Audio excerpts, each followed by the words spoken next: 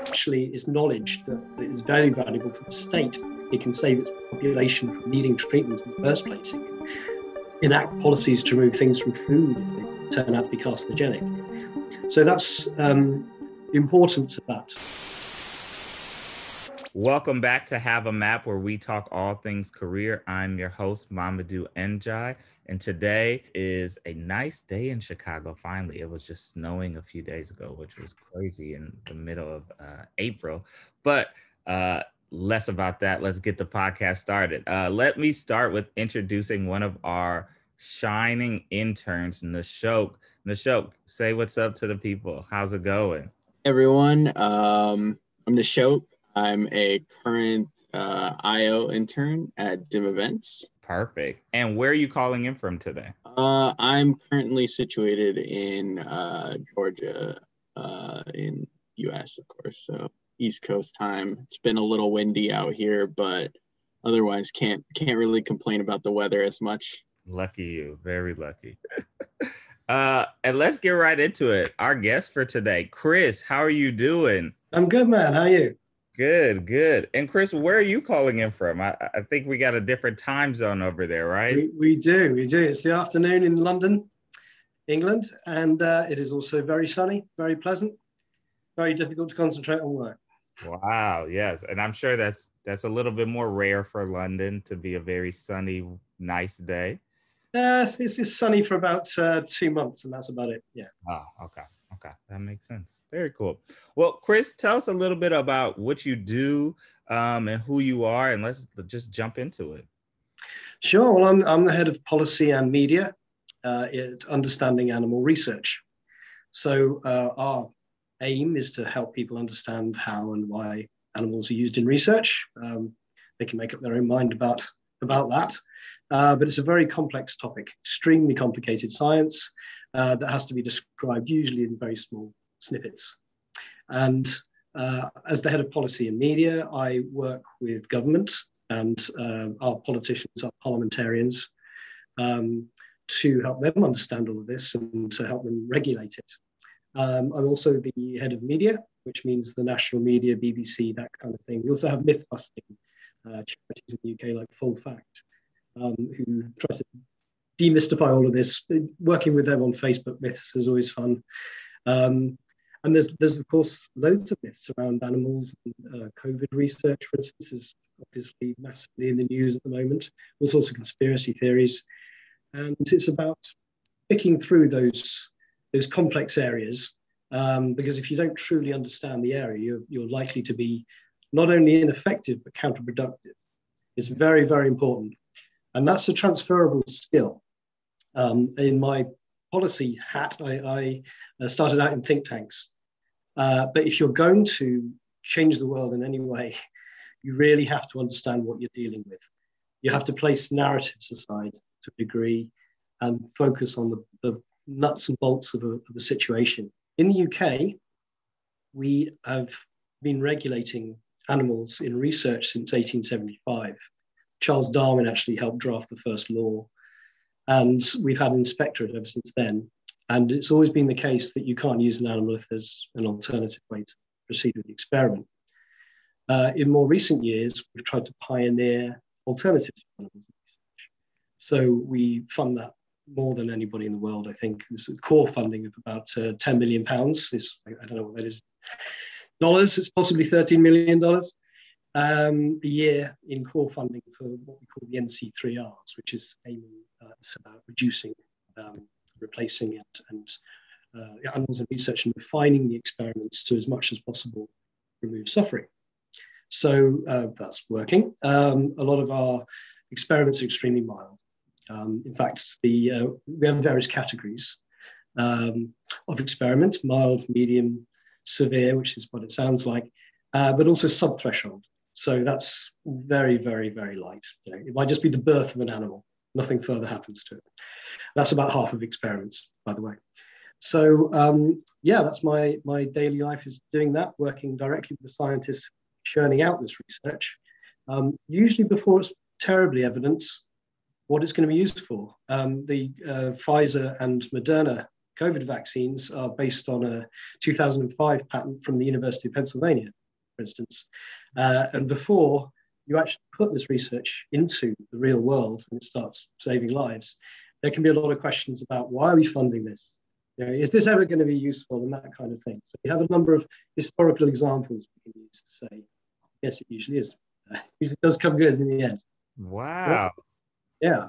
That is you, you just blew my mind already this morning. Um that's very fascinating and interesting.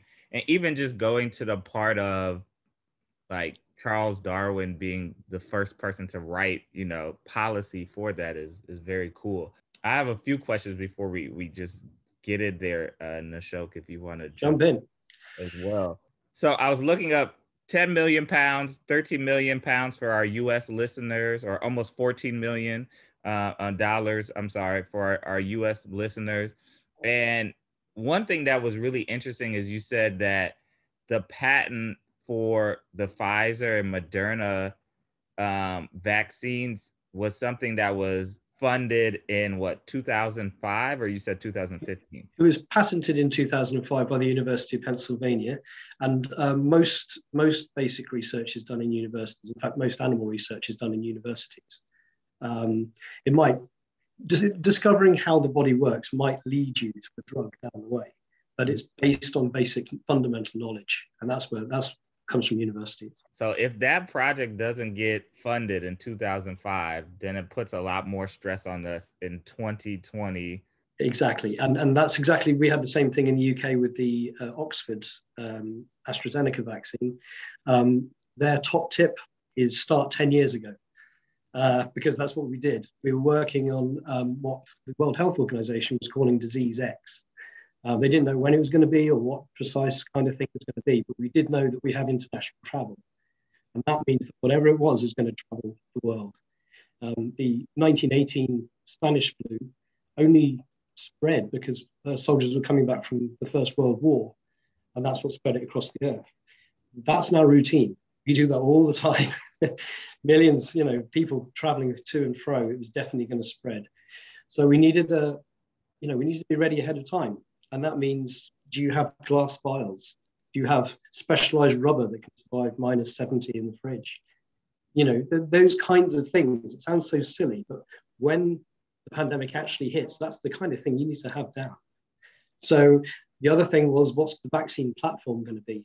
Do you have your clinical trial volunteers pre-screened? Uh, you know, are they healthy enough to take part? All the stuff that normally slows down vaccine development 10 or 15 years we did it ahead of time. When it hit, we just needed that DNA from the from the uh, Chinese scientists to stick it inside an adenovirus and create the vaccine. The rest was manufacturing. Wow, amazing. Michelle, I'll let you jump in here because I know you got questions. yeah, uh, I know you had a little um, about your day to day. I was wondering if you could maybe elaborate on on how you engage with with uh, like animal research scientists and how how you also push uh, that data outwards towards the media because I've done a little bit of uh, stuff like policy uh, policy writing and uh, policy briefs and stuff in in like previous classes. So I was wondering how how much of it actually transfers into into your actual engagement between scientists and people in general. People in general, uh, we we kind of it used to be that I'd have to go to researchers and, and just ask people if anything interesting was going on. Or maybe work with their press offices and said, you know, what's, what's the most interesting research you're doing at the moment? I could then translate that to politicians and the media. But something's changed over the last 10 years, which is we pushed something called the Concordat on Openness in animal research. And the idea was rather than people trying defensively to describe what their research was for, just go out and tell people you've got a press office at the university or at the you know pharma company or whatever be completely open about how you've used the animal and what it's led to and why you think it was worth it. Don't try to moralize don't try to tell them that's a great thing don't spin it. Just tell them what's happened and uh, just, you know trust them to be intelligent enough to make their own mind up in line with their own personal morality. So that was the idea. And all of the uh, research funders and people who undertake it have signed up to it. It's about 125 organizations in the UK, Oxford University, for instance, all the big learned societies, etc. And what they then do, as the research comes through on the pipeline, they then push it out through their press offices and they do press releases and they might talk to their local politicians, invite them into the lab, that kind of thing. It's a type of uh, open outreach and it's a two way process where people can ask questions of the university they can have open days. People are actually innovating in all these different ways, all to the end of being open. Um, then at the end of that, there might still be questions, you know, moral or technical or whatever. We can get to that then. Once people have the understanding of what has happened and it hasn't been spun and it hasn't been exaggerated, then you can have a conversation about what's left, which is a question for society. You know, should the experiment happen? Uh, how much money should be pushed into it? I know you have lots of, uh, you know, you have sort of small state conservatives are a, a, worldwide feature, and they never they never seem to think you should fund science. They think you should leave it to the private sector. But there's usually no return for an investor on something, say, if it uh, reduces the number of cancer cases. No, no, no investor can make money from that. So uh, actually it's knowledge that, that is very valuable for the state. It can save its population from needing treatment in the first place. It can enact policies to remove things from food if they turn out to be carcinogenic. So that's um, the importance of that is, is a kind of a drip drip process rather than me turning up and giving you two or three examples. It's the lived experience of politicians to receive things from universities to be in papers, um, and it reduces the opportunity for anybody to spin it for their own gain, basically. And it has that, you know, it's, it's a conversation. If the public is funding research, it should know what's coming from research. They have a right to know. So it kind of works out better for everybody if that if that happens. Um, and on a day-to-day basis, I mean, I will map parliamentarians to figure out who I need to be speaking to, who's on committees, um, you know, what parliamentary committees are, are, discussing this stuff. Just last night, I was, I was on a parliamentary committee as, a, as an expert witness on the panel. They were asking what more do we need to do in what areas to further reduce use, which is a perfectly fair question. Um, and we had some suggestions. And again, it will require public funding um, to deliver what the markets don't naturally deliver on their own. Um, if you you can't really solve a a, a moral imperative using a market forces because everything needs to have a profit before it's done. So actually, you need to nudge that along. You need to sort of, you know, seed certain things if you want to see it going the, the other way. It'd be, it might be similar to sort of climate change or something like that. You know, if the if the government um, makes it more attractive to get renewable energy, then that gets that market going, you know, up and running. Then you can just leave it to look after itself. But it wouldn't necessarily have delivered that because if the bottom line was profit, then that doesn't really equate to environmental, you know, the switch away from petroleum or something like that. So it's, it's, it's pretty much the same across the whole of science. If you want that outcome, you've got to you've got to see the investment and, and nudge things in the way that you'd like to see them go. I'm a little bit more uh, knowledgeable about that. Um, do you ever find it uh, a little hard to um, to kind of translate that science, the the science side over to uh, politicians because I mean I've always heard a lot about people struggling to get like grant money and uh, and just scientific funding in general. Absolutely, it's hard, and it's very hard to break into echo chambers. But it's our job to be where the audience is. Uh, we can't simply broadcast and say, "But we did a fact sheet on that." You need to get it in front of people's uh, faces and sometimes that, if you you know, there's very particular ways of approaching politicians, for instance. Uh, they don't vary a massive amount between countries. Um, it's that they have a staff that they sometimes they they're going to have to be they're going to have to make the final decision on certain things. It might be something like a like a diary date. Um, you know, the, the staff may not know what the politician knows. Like, is that somewhere the politician wants to be? Are those characters people they want to meet? Um, how important is this uh, to the politician? So, depending on what you send to a politician, if you send them your annual report, it will end up in a big stack of annual reports that will never be read by anyone. If you invite the politician to an event, well, then there's a greater chance that the politician will have to consider that invitation at least. So now you're in front of them and you can and it's your message. Is what what can you put in an elevator pitch, in a diary, uh, in a diary uh, letter um, that could grab their attention? You know, what are you sending to their offices that would make it stand out? And I, have worked in a parliamentary office before, so I, I'm sort of aware of how it feels when something turns up in the office. I know uh, there's one uh, news corporation that wanted to wanted to everyone to come to a big event of theirs, and that might have got lost, but they sent it on a piece of perspex. This big perspex perspex disc, and you're thinking, what do I do with this thing? You know, it's grabbed your attention more than anything else. And in a, a politician's world, everything is coming from so many issues, you know. Um, and uh, then there's members of the public sending them abusive letters and all sorts of stuff, actual things they need to sort out, you know, actual work they need to do uh, in the legislature. Um, what do they do when this big perspex thing turns up? You know, it, it, drew attention to that brand in a way that was fantastically expensive, but um, uh, also really worked. You know, nobody's going to forget that invite because it was such a strange thing to receive. But it is those kind of little tricks of just trying to get somebody's attention who's phenomenally busy and try to see it from their perspective. Just how many things are bombarding. Um, it's not necessarily about the quality of your message, but it is about how you can get it across. Better get creative in some cases. Do you utilize the media to try to get it in front of policy makers' um, faces, or you know what I mean, to put it out there? If you've tried those other routes first, do you? Well, yeah, that, that's that's the context uh, in which they're operating. If everybody if everybody settled down and watched the same news story, that's great. The only thing is the media these days is quite uh, fragmented. And there's a lot of echo chambers. So some news just doesn't get in front of people, and some people are surprised to find out, you know, politicians, for instance, that nobody's heard of them. And there's one guy running for a mayoral position in, a, an election in a couple of weeks up in the, the Midlands uh, of the UK. He's been he's been a minister before. He's been all over the news. He's been on every news ch- uh, program you can think about, and something like only 30% of people heard of him. You know, amazing. And he's running as a candidate in their area. You know, most people just don't look at the same stuff. They also tend to be quite sensitized. So let's say they work in the housing industry and they climb on a, you know, metro train or something and they pick up the free newspaper.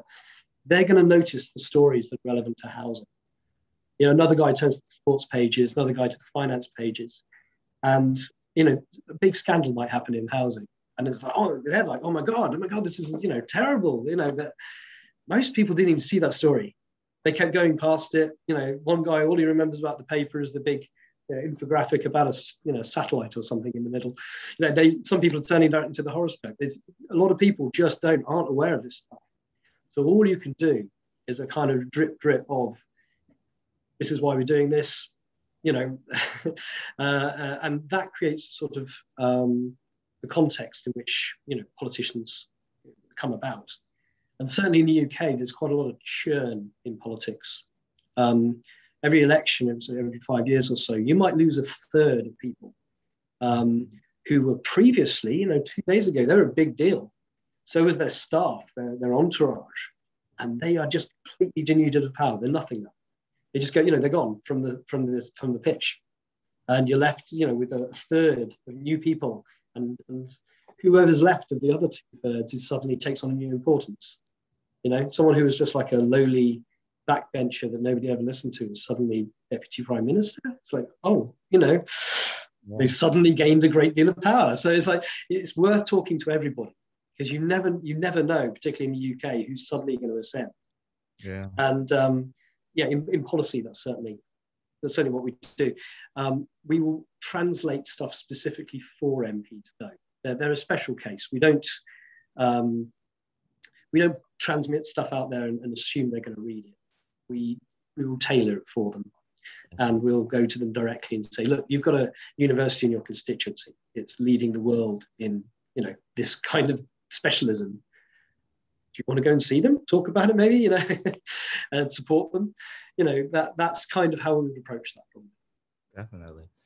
And then my last question in this space is with media changing so much and a lot of social media coming to the forefront, is that something that you all are utilizing as maybe not an equal tool, but something that you see that's kind of transforming to becoming a more equal tool to get messages and, and mm. information out there as well. Interesting, yeah. I mean, we we concentrate a lot on infographics, and our reach is is large. It's in millions. Um, it's very difficult because when we put something out, we might see a lot of people using it, but it might be the same old people. Mm. Uh, if our job is to get to those voices that don't see that, then we've really it's a it's a, a quite a hill to climb.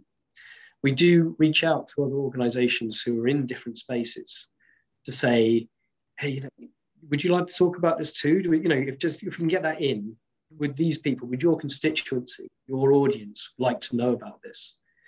Um, but we have to go in, we have to figure out who those organizations are uh, and, and go in that way.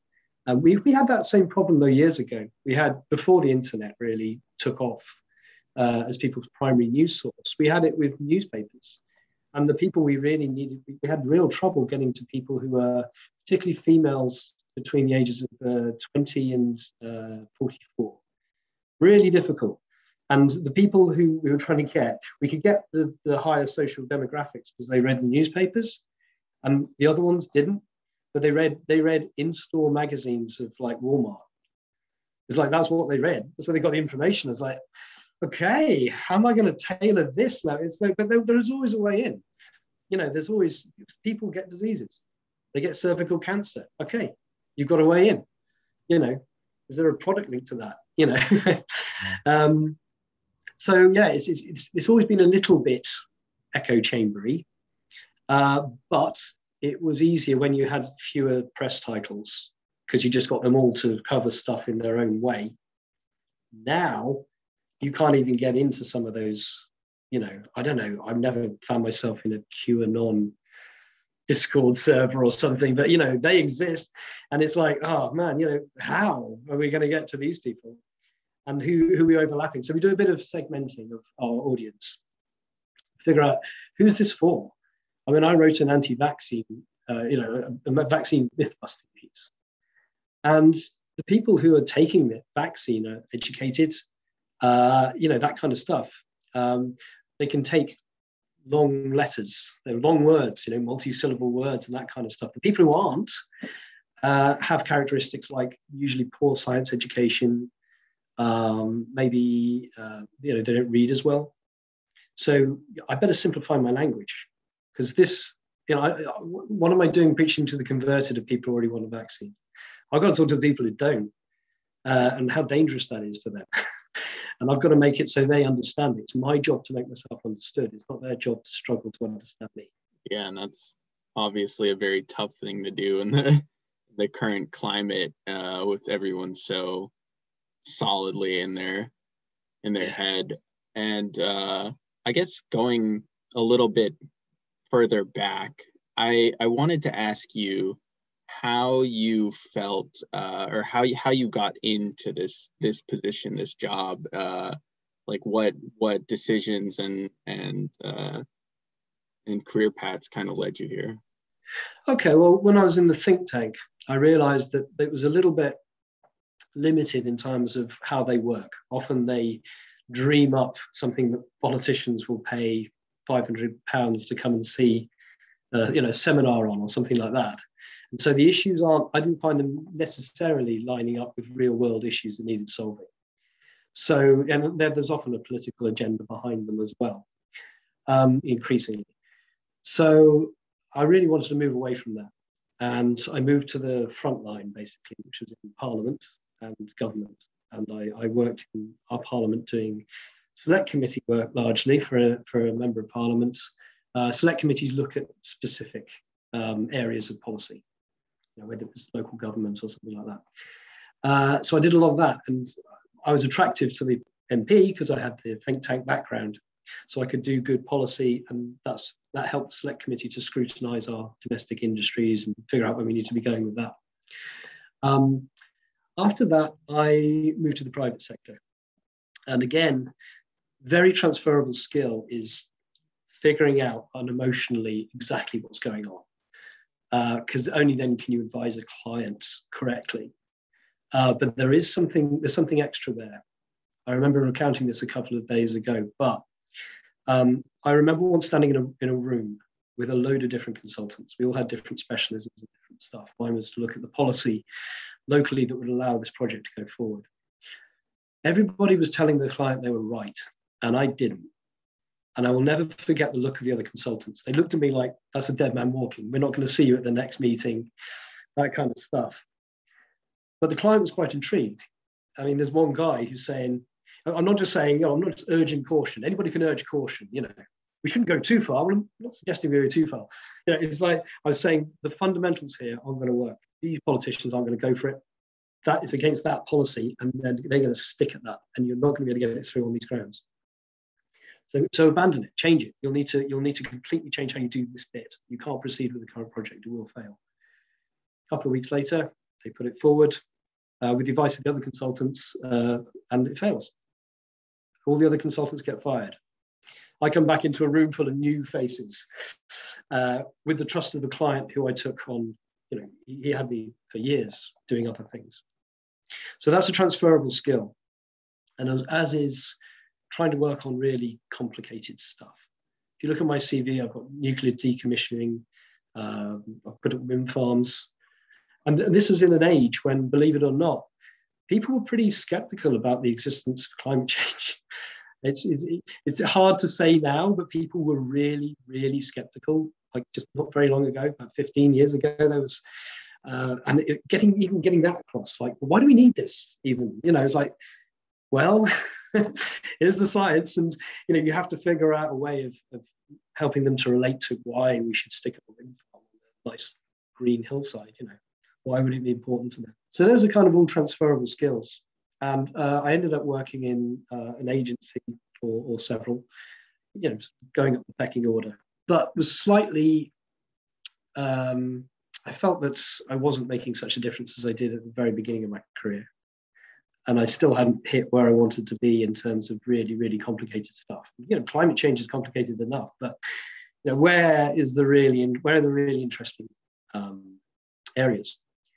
Uh, so I, I left an agency on gardening leave, and I said I'm not going to go back to another one. Uh, I'm going to go and find a job that that delivers on all those metrics. It's got to be challenging. It's got to use all my skills. Um, I'd like it to be policy and media based, but nobody but nobody was doing those kind of jobs. And this one kind of fell in my lap. I just saw the the the job description read not only um, sort of you know with all the elements that are on my CV, but actually in the same order as my CV. Uh, I thought this is a great match. So I uh, I joined up, and um, it's a really interesting area. We we have five year strategies because at the end of those five years, we're a whole new organization. We're talking, we're working in a totally new context. We've got different audiences. We, we can't just keep doing what, we've, what we did in the previous five years. We sit there, we horizon scan, we say, okay, we're going to be a completely different organization. So, in essence, I've worked in one place for nine years, but in another way, I've probably had three jobs with the same job title. Very amazing. That career transition is is really cool just to see that and i think it, it, always is reassuring right to show the different areas that you can go in but also utilizing those transferable skills within each space and that's one thing we always talk about um, in our internship is you know even though you might go to university for a certain thing um, you can kind of maneuver around it and pull from those skills that you have to jump into different uh, industries or careers or whatever that might be. Um, and it's a lot more flexible than you think. You know, if you think you just go into with university with this major, you have to go into this direction. It's not linear like that. It's actually more of like a, a, a weird type of pattern that you can create on your own. Absolutely. I mean, at the moment, I've got a secondment from the Institute of Cancer Research working with me on policy, showing her how this goes along. Uh, and you know, our head of engagement is a former neurologist. Uh, but you know that you, you can do that, and it's and all of that stuff is really useful. You know, uh, in different ways. Yeah. No, that's so very very important. And you know, we talk a little bit about like branding. I don't know if branding is the exact type of wording, but mm. branding I think is interesting where you take it to a career perspective where you really can pull from like this is who I am and this is why these unique you I can't speak unique skill set can apply to any other space you want to go into. And I think if we look at careers more in like a I always say like a brand perspective, the same way you could look at like a celebrity or something of that nature and utilize that, it could help to transform a lot of these different spaces. So that's right, and that's that's why it seems so much harder when you're starting out because you have less of a story to tell.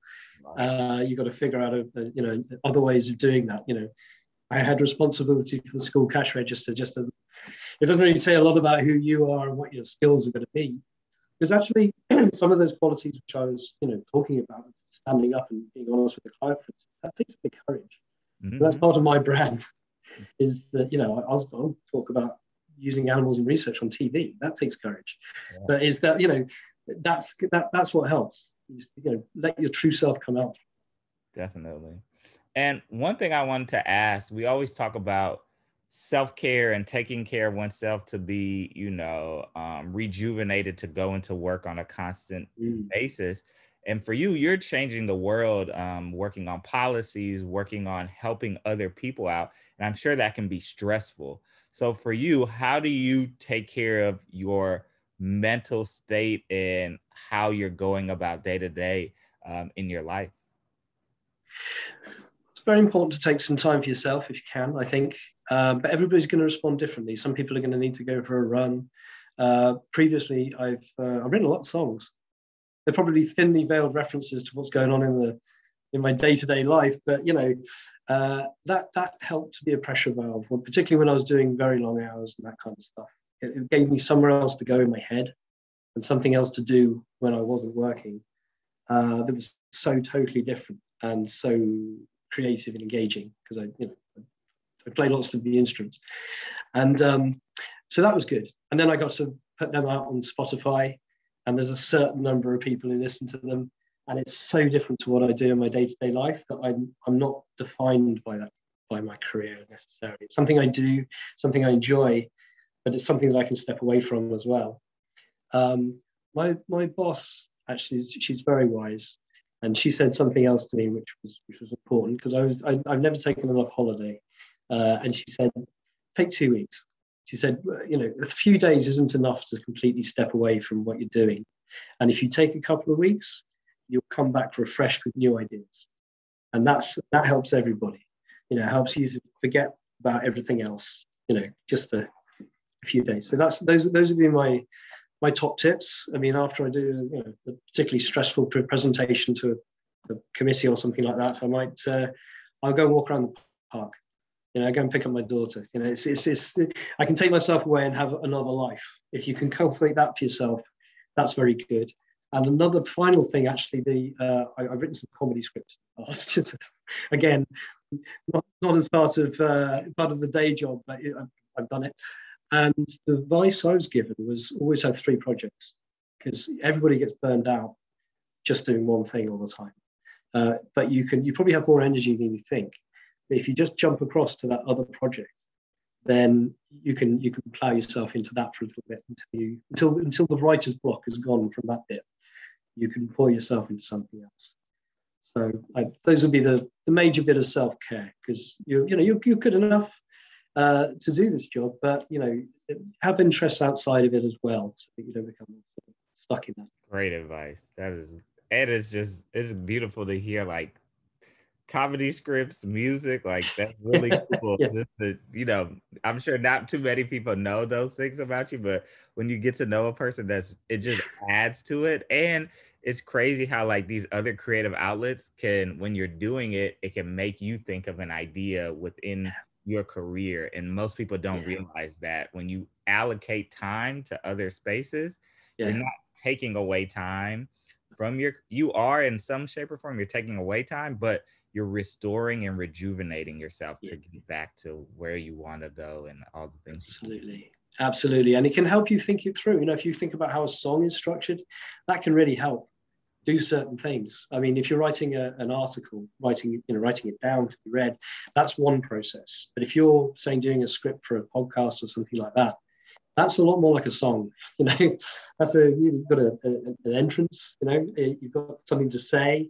Uh, you may even have themes that you return to. That fe- feels more to me like writing a song than it does writing an article. Yeah, actually, and on that, a little bit of a uh, a chorus from me, I guess I would say. Um, so you were talking um, about your uh, early kind of coming onto the job and uh, how you got here. Um, and I was just wondering, as as someone who's kind of like in a position where I'm trying to get that kind of experience and knowledge um, uh, and maybe a basis in that research. Do you potentially have any advice on how people, um, just like students, maybe even can reach out and get uh, connections within uh, animal research, research in general? Uh, I'm specifically interested in animal behavioral psychology research, ah, um, oh, but and and i'm the the problem is i'm finding it a little hard to to like find how how to make those connections outside of like maybe a a definite college connection. Like i feel like a lot of a lot of at least in the us a lot of that a lot of the research is of course still university based and tended towards undergraduate or graduate so the in between people yeah. kind of feel left out i guess they are left out. Yeah, they are. They are left out. You're quite right. I mean, that's not how that works. Um, and I mean, in the US, there are um, organisations which talk about uh, animal research, for instance. But there's there's one which is entirely voluntary called Speaking Research, and that's just researchers. You know, there are uh, animal behavioural psychologists uh, uh, working in that. Um, and they give their time for free to do articles and that kind of stuff. Um, there's that I mean, there's there's not a lot in terms of sort of forums or groups of people who, who talk about that kind of thing. It is still largely based around academia. Uh, and like I say, you know, you've got things like speaking research, which least creating a space where you can have a conversation about those things and learn about them. In the UK, we've tried other things. We had something called a pint of science, which was some idea. You have a have a pint of beer with a scientist, and that, that was kind of creating those those informal links. So we have a few more of those initiatives, but that's really something that I wouldn't I wouldn't say that's the primary thing I go to. I'd say those those those kind of links that you make in your career are kind of made in your jobs themselves. You take those contacts on, you know, when you when you first do that. So um, internships are obviously a great great way of connecting with with those things but it depends really where you wanted to end up i mean it, would it what, what would be your your ideal job for instance uh i mean just talking with um previous professors uh i'm very interested in in being able to actually study um like a specific animal um my my professor was specialized in uh chimp research so she's been giving me a lot of instructions about that. We have a uh, actual uh, chimp haven a bit a little bit further up in, in North Georgia that I've been yeah. looking into. Um, so a lot of that is kind of outreach, and of course that's been a little hard with um, COVID and, and quarantining yeah. and all that. Uh, makes it a lot harder to to actually engage with uh, animals in that kind of situation. Yeah. So, but I, I I guess for me it's it it's been kind of like a searchy feely for trying to find those kind of positions that are mm. uh, that are available without um, so I can get that experience and that's what I've been really outreach yeah. and look, looking out for.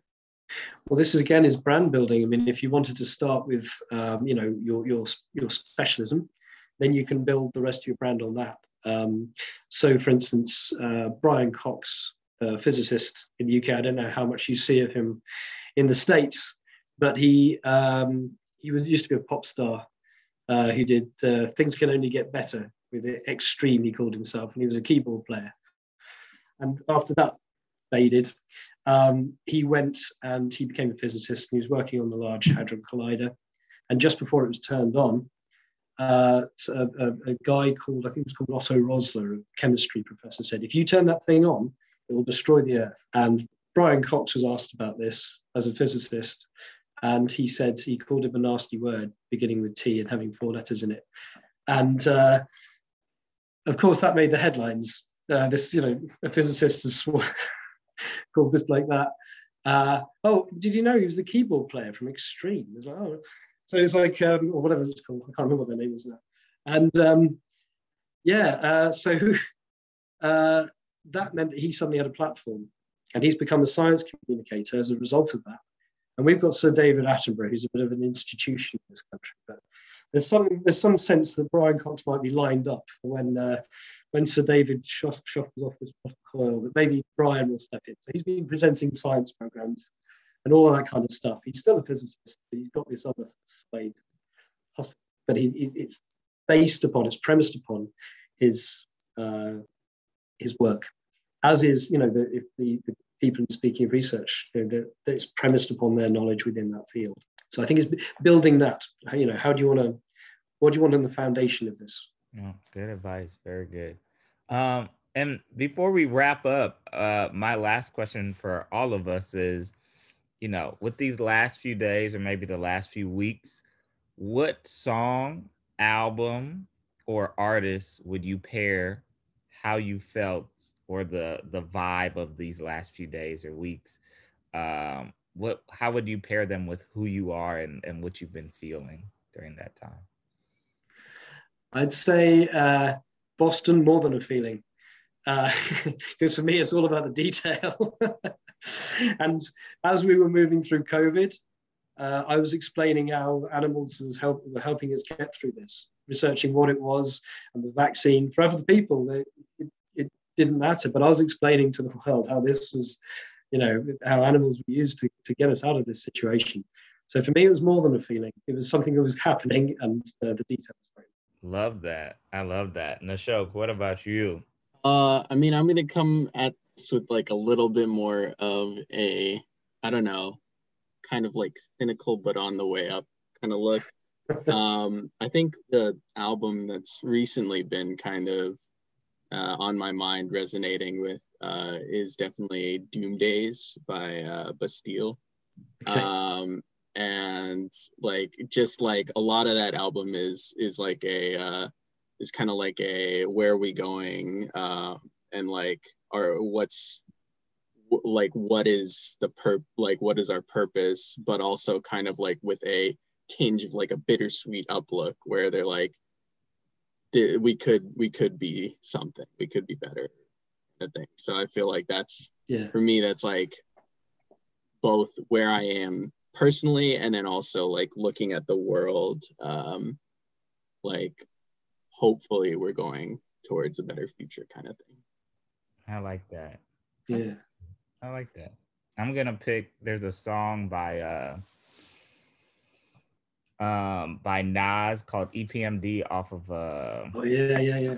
off of uh Judas and the Black Messiah I think uh off that album. And you know, it talks about the growth of him and hip hop and all of that stuff. And I and I really I relate to that as far as like COVID being a time of growth and reflection and, and really looking inwardly on what one vessel can utilize, which is our event company, to kind of what we're doing with our internship program and helping to change the way that things are done and the impact on what the way that things are done and starting with interns to translate into impact rather than trying to go to the top and create impact that way. Yes. Very good. So yeah, look at that. All great songs. You all should listen to for our listeners. Um, and one, we just want to thank you so much, Chris. We like to give everyone a round of applause at the end of our podcast episode. we appreciate you volunteering your time to chat with us and speak to our audience as well. My pleasure. Of course. Well, thank you to you all listening, whether this is your morning routine, afternoon routine, or something that you do before you go to sleep. Uh, we are out. Skirt, skirt.